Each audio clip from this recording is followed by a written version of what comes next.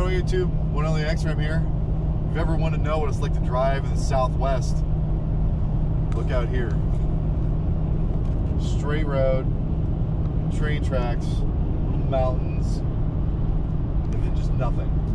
Beautiful nothingness and a vehicle blocking your shot. And apparently speed limit signs, which are new, I guess. I, like, they're not even telling me to slow down, so I'm good.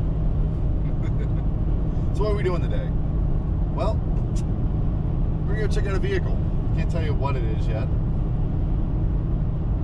It might replace this. It might be added to it, or it might not get it at all.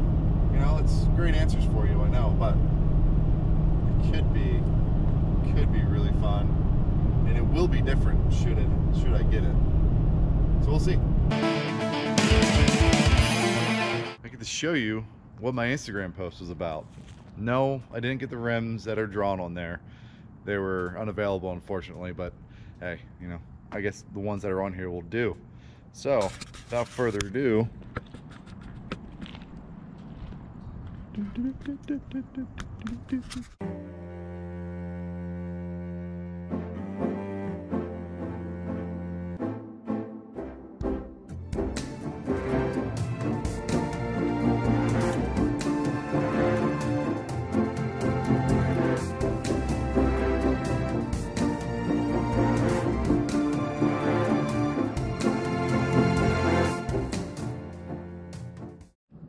So you might be wondering, why trade your Hellcat in for an SUV?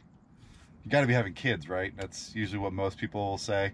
That's actually what I've been asked multiple times every time I say, yeah, I'm to get an SUV. Oh, you got kids or something? No, no, I don't have kids, which is fine. But the reason, there's actually several reasons, but mainly is we have giant dogs. Great Dane, Rottweiler, and one another Great Dane our Hellcat and the vet, yeah, they don't work. They don't work for dogs, unfortunately. So something this size, absolutely perfect. Also, you're probably wondering, why the hell didn't you get a V8 or the supercharged one? Uh, they're expensive.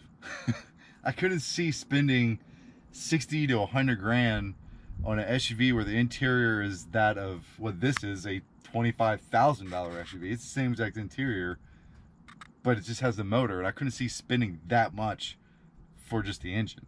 So with the package that this thing has, all bells and whistles. It's got a panoramic sunroof. It's gorgeous. Tons of room for our, oh God, how tall is he? Four foot eight friggin' uh, Great Dane just enough room. And of course, like I said, this sunroof will open and he can stick his head out there. Does her. Come here. Come on, sit. Good boy. Look at you. Good boy. Perfect. Good. Stay right Stay. there. Stay.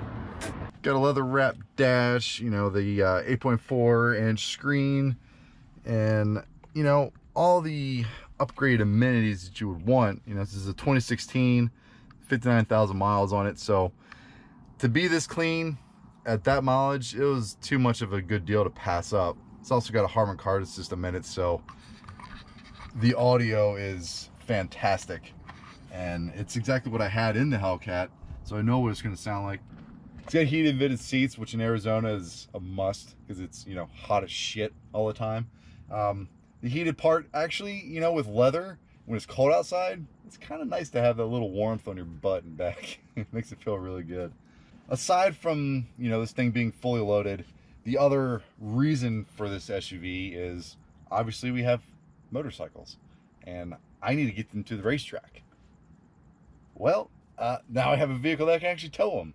So I'm not going to be towing, I think this thing has 4,000 pounds tow capability. I don't really care about 4,000 pounds. My bikes are 400 at most. So I can put three of them on there and be well under the tow capacity. There's a lot of aspects that go into getting this vehicle and uh, I couldn't be happier with it. The, the people at Courtesy, Chrysler, Dodge, Ram, uh, Chris Shelton specifically, my sales guy, freaking helped me out so much, and their financial guys got it got it squared away to where payments and everything else is right where we need them to be.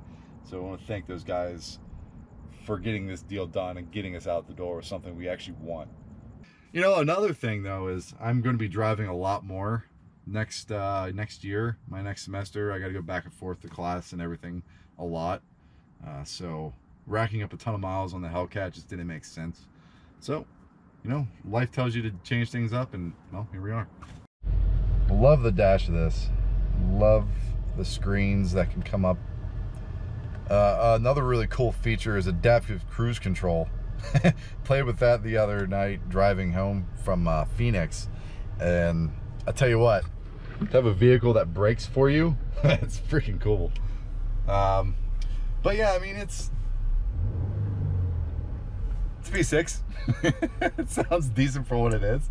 Uh, so after I've driven this for a few days or a couple weeks, I'll probably do a full review know, my impressions of this SUV. I know most of my reviews are either on a motorcycle or between a Corvette and a Hellcat. So I'm hoping that I can convey the practicality of this vehicle and uh, those of you that are in the market for something like this uh, can go and see that there's some used stuff out there that are going to give you a killer deal and then also deliver everything you want.